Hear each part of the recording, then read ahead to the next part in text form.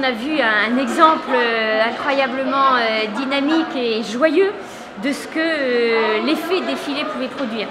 Alors évidemment, il y a tout le souvenir de ce qui s'est passé pendant ces neuf mois. Et puis, ça, c'est une matière, c'est une matière humaine, c'est une matière artistique, le défilé, tout ce qu'ils ont vécu. Et à partir de cette matière, on peut faire d'autres objets artistiques et on peut réinvestir l'espace public, on peut réinvestir les écoles, toujours à partir de, de l'expérience qu'ils ont vécue avec le défilé. Du défilé, il va y avoir un prolongement vers euh, la fête des mousselines. C'est un vrai plaisir d'avoir 400 personnes à la salle des fêtes. C'est pas tous les jours qu'on a autant de monde dans cette salle des fêtes. Donc ça veut bien dire que cet événement de la Biennale a créé euh, du, lien social et est un véritable succès.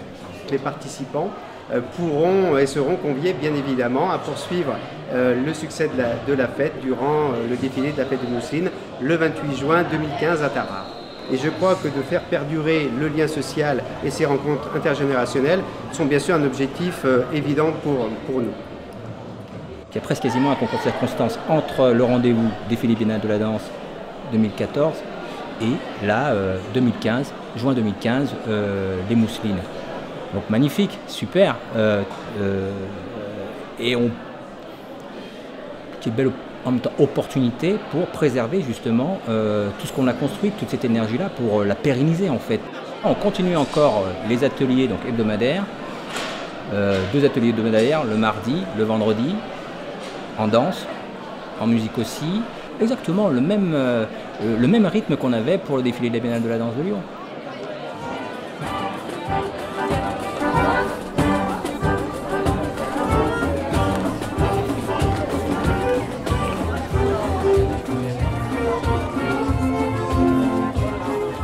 Sommes toujours, toujours soucieux de cet après et de ces moments de convivialité euh, sur le territoire. Et on en parlait, on en parle très souvent au moment de l'édition. Même avant de, même avant de défiler, les gens se préoccupent déjà de l'après et de ce qu'ils pourront faire ensemble après. Donc voilà, donc on est soucieux quand même, entre deux éditions, de voir comment on peut les réunir. avec euh, souris. Bon, entre les défilés, on essaie de ne pas perdre le contact avec euh, les participants. Il y en a certaines qui viennent prendre des cours hebdomadaires avec moi. Euh, Il y en a d'autres qui viennent nous rejoindre ponctuellement pour les stages qu'on organise. On aime bien organiser des stages avec euh, toute l'équipe artistique. Donc euh, c'est il y a un temps de danse et puis après un temps convivial où on mange. Voilà, donc euh, on, essaie toujours de, trouver des, points de rencontre.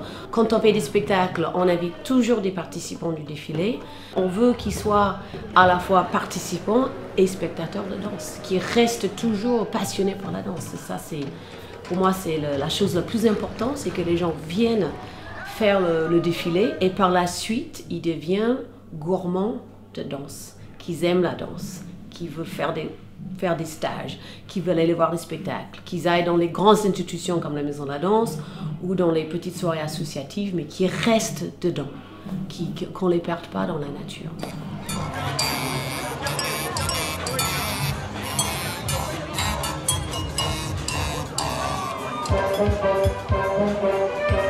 Pour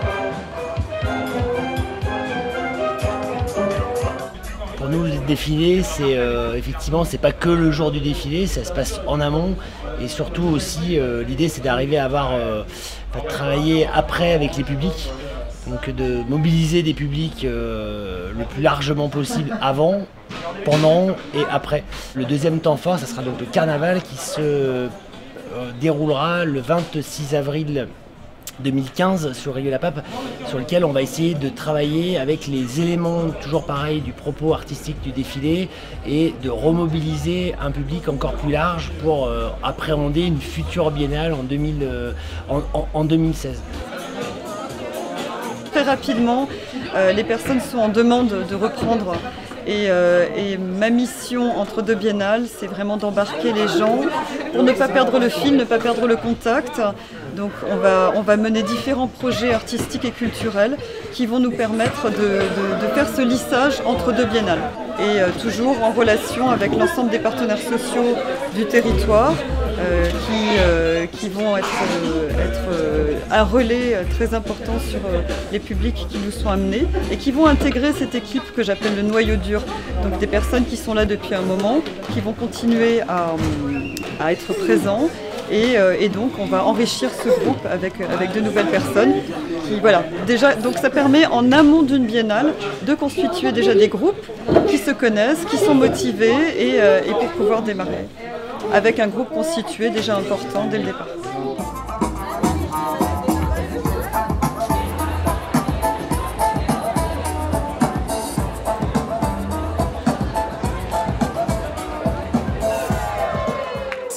C'est qu'on voit bien que tous les participants sont en attente. Euh, l'après-défilé, euh, il y a un peu euh, comme une espèce de sentiment de voilà, tout s'arrête, tout, tout, tout, tout, est allé, enfin tout est à l'abandon. Donc, donc dès qu'on repropose le rendez-vous pour le 8 décembre, bah, tout de suite on a, on a du monde qui, qui, réagissent, qui veulent, qui veulent être présents pour justement pour pas que ça s'arrête, pour que ça se poursuive. Et là pour le 8 décembre, on a eu je sais plus 150, 200 participants qui ont répondu tout de suite. On est là, on y retourne et, c'est super parce qu'en plus on l'a proposé de nuit. Donc pour eux c'était euh, une autre, une autre manière de, danser le défilé. Mais en tout cas ce que je retiendrai c'est que euh, c'est qu'il y a une envie, une envie de, de, faire perdurer, de continuer euh, cette, ce, projet. J'aime bien cette attente qui est de la suite, qu'est-ce qu'il y a après? Voilà, donc l'idée de le faire le 8 décembre, c'est pour justement créer comme ça une espèce de continuité entre, entre les, les, les deux biennales finalement. Parce que deux ans, c'est court, c'est long aussi. Euh, euh, voilà. Donc le 8 décembre, c'était euh, c'était un moment, c'était un beau moment.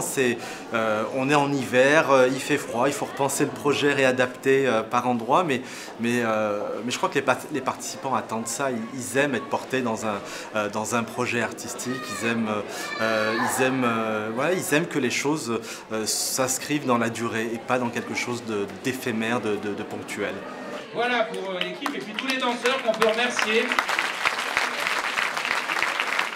Cette année-là, vu la réussite du défilé, vu le spectacle, on s'est dit, ça paraît naturel de pouvoir, euh, au lieu d'avoir des spectacles invités, ben justement cette année-là d'avoir euh, le défilé dans une version probablement tous les danseurs, qui, les 500 danseurs qui étaient au défilé pourraient pas être là, mais la locomotive qu'on avait gardée, les costumes, et donc de pouvoir confier à Paul Pic et à Mourad euh, un travail supplémentaire, une suite de défilés, cette valorisation euh, le 8 décembre, que ce soit pour les habitants de Bron, que ce soit pour les, danseurs, euh, tous les bénévoles autour du grand défilé, que ce soit même pour Paul Pic, ça a été vraiment un vrai, un vrai succès.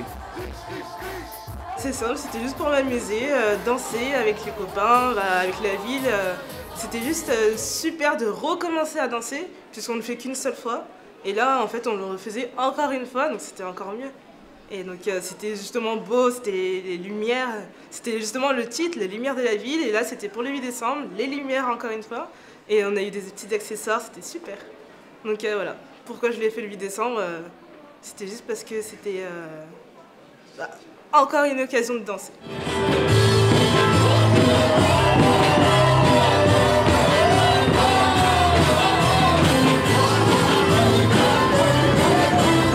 L'événement appelle la régularité et la régularité développe l'événement, en tout cas le, renforce, puisque les gens euh, n'auront pas perdu contact avec la danse, donc ils iront plus loin la prochaine fois.